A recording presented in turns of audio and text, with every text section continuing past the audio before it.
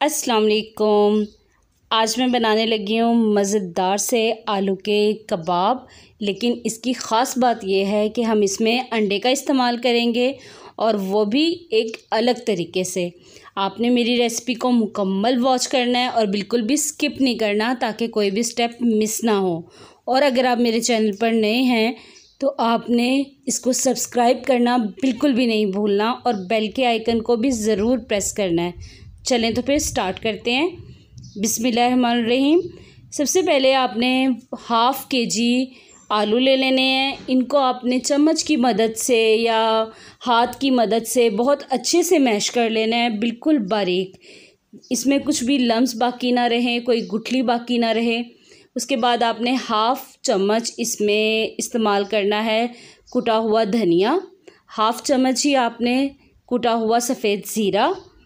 आधी चम्मच आपने इसमें काली मिर्च का यूज़ करना है, नमक हसब ज़ायका और साथ में हम इसके इस्तेमाल करेंगे लाल मिर्च। छोटा वाला चम्मच मैंने दो अदद लिया है, आप बड़ा वाला हाफ़ ले सकते हैं। इसी तरह ही कुटी मिर्च, छोटा वाला चम्मच मैंने दो लिए हैं। इसके बाद इसमें हम हरा धनिया डालेंगे, जिससे कलर भी बहुत अच्छा आएगा और फ्लेवर भी बहुत अच्छा आएगा। अब इन तमाम चीज़ों को आपने मिक्स कर लेना है और माशाल्लाह से देखें क्या ज़बरदस्त सी इसकी अभी से लुक नज़र आना शुरू हो गई है। हरा धनिया से इसकी बहुत अच्छी सी एक लुक आ रही है और मसालों की वजह से भी अब ये सब चीज़ें बहुत अच्छे से मिक्स हो गई हैं। अब आपने नेक्स्ट जो है तीन अंडे बॉईल कर लेने हैं, बहुत हार्ड बॉईल करने हैं और इस तरह से इनके गोल स्लाइसिस कर लेने हैं छुरी की मदद से। हाथों को आपने अच्छे से ग्रीस कर लेना है। और थोड़ा सा बैटर लेकर इस तरह हाथ पर छोटी सी टिक्की सी बना लेनी है। अब इसमें हम रखेंगे दरमियान में ये उबला हुआ अंडे का स्लाइस और इसी तरह ही थोड़ा सा और बैटर लेकर हम इसको कर देंगे बिल्कुल कवर।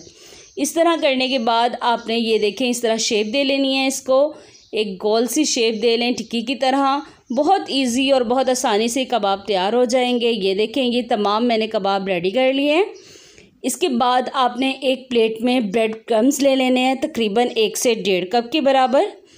और एक बाउल में दो अंडे आपने लेने हैं और इन अंडों को हम नमक, इसमें आपने हंसपे जायका डालना है और नमक के साथ इनको बहुत अच्छे से फेंट लेना है। इनको फेंटने के बाद आपने इस टिक्की का जो हमने अंडे के साथ तैयार की थी, इसको पहले हम अंडे में डिप करेंगे, बहुत अच्छे से। और फिर हम इसकी करेंगे ब्रेड क्रम्स के साथ कोटिंग ब्रेड क्रम्स आपने बहुत अच्छे से इसके चारों तरफ़ इस तरह चम्मच की मदद से लगा लेने हैं. बहुत इजीली और बहुत अच्छे से इसके ये लग जाएँगे. उसके बाद आपने ये सब कबाब इस तरह रेडी करके रख लेने हैं. इन कबाब को आप फ्रीज़ भी कर सकते हैं. कम अज़ कम एक दो हफ़्ते तक जब मेहमान आए, उसी वक्त ही गर्मा गर्म सर्व कर सकते हैं. ऑयल मैंने मुनासिब ही गर्म किया था. बहुत ज़्यादा हीटअप नहीं करना. स्लो आँच पे आपने इनको फ्राई करना है इस तरह से और एक साथ ज़्यादा मकदार में फ्राई नहीं करना, कम कम ही फ्राई करना है। ये देखें, बहुत स्लो आँच पे एक तरफ़ से जब अच्छा सा कलर आ जाए तो आपने इसकी साइड चेंज कर देनी है। और अगर आप मेरे चैनल पर नए हैं तो आपने मेरे चैनल का विज़िट भी ज़रूर करना है। वहाँ पर बहुत मज़े की और अच्छी अच्छी रेसिपी और भी मौजूद हैं। ये देखिए माशाल्लाह बहुत अच्छा सा कलर आ गया है दोनों साइड पे। अब हम इसको डिश आउट कर लेते हैं। उम्मीद है आपको मेरी रेसिपी ज़रूर पसंद आई होगी। अल्लाह हाफिज़।